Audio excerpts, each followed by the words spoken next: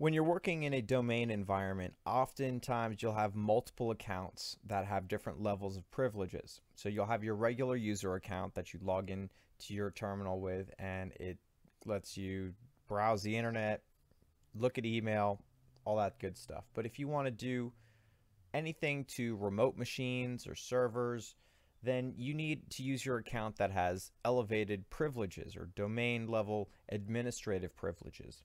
And you can start up different programs using that account using the GUI. You can hold shift and then right click and say start this program as a second as a different user and blah blah blah blah blah.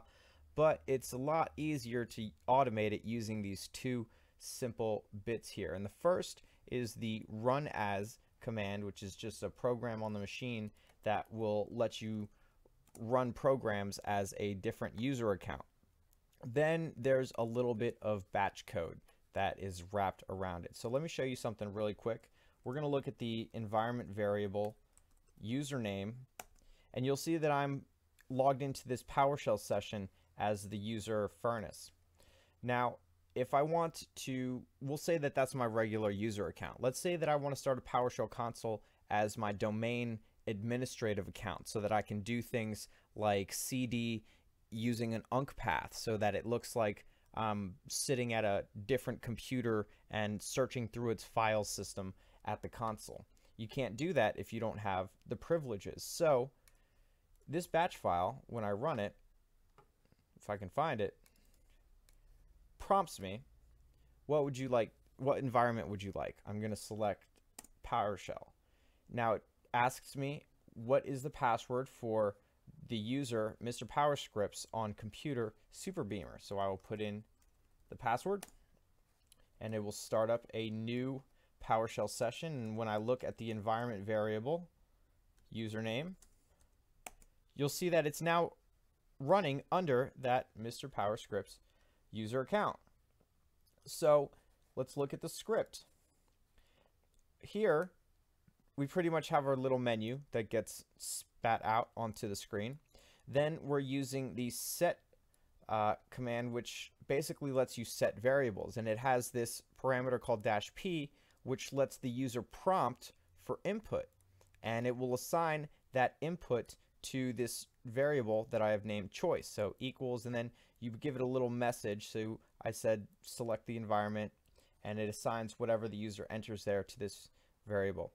Then I'm using the if statement and I'm checking the variable to see which option the user chose. So I chose 2, so it uses run as. It has a user um, parameter.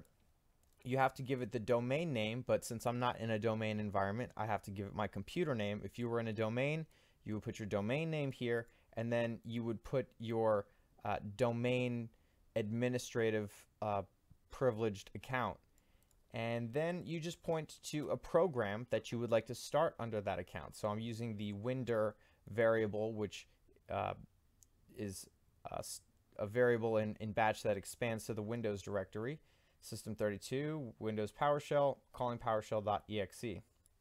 And that's pretty much it. Then if this if there's an error message, the reason I put this is that sometimes you'll type in the password wrong and I wanted it to stop and show you the error message so that you can say, oh, I typed it in wrong, and you know maybe you're having a password issue, and that's why it's not working. Otherwise, this batch file will just close, and the new um, console that you've chosen will start up.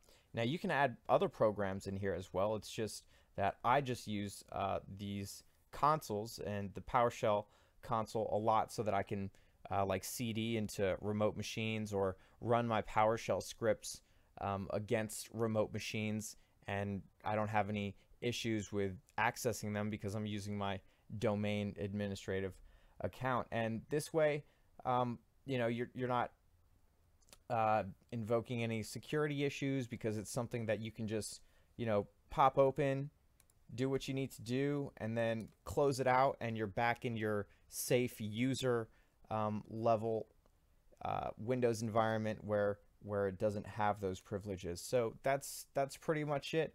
Uh, using a little bit of batch and the run as program to start up programs as a different user. That's it. Thanks for watching.